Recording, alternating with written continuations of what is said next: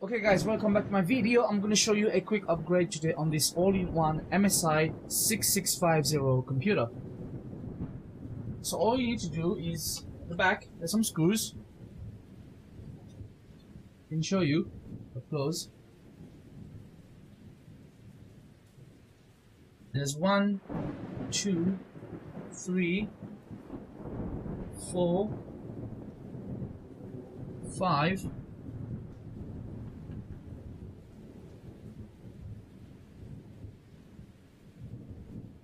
in there there's six, and then seven, eight, nine, and ten. There are ten screws to take off, which I've already unscrewed, and this pops up. The side here, we have the little cover for the DVD, which easily comes off. I can just do that. Let me just do that, and I'm gonna get back. Right, so we put this on the side. So all you need to do is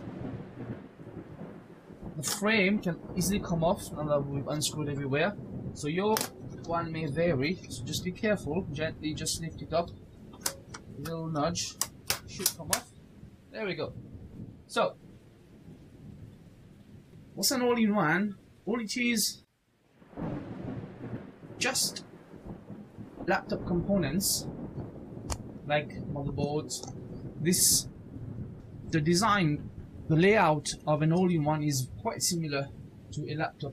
So all it is, this is the motherboard, the fan, underneath there the processor, the CPU, and here's the RAM. Currently we have one stick of 2 gigabyte memory and I'm going to just insert a second one to make it 4 gigabyte. As you can tell, there are the video con connectors, the USBs, the audio, hard disk, DVD drive, quite simple stuff really. So all it is is a laptop motherboard and laptop parts stuck at the back of the screen. It's all a, an all-in-one is. So hopefully put a stick of RAM which should match my experience.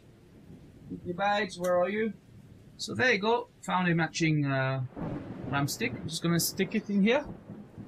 There's this extra RAM slot. This is DDR2 gigabyte, and hopefully it should work. So we'll go test it out.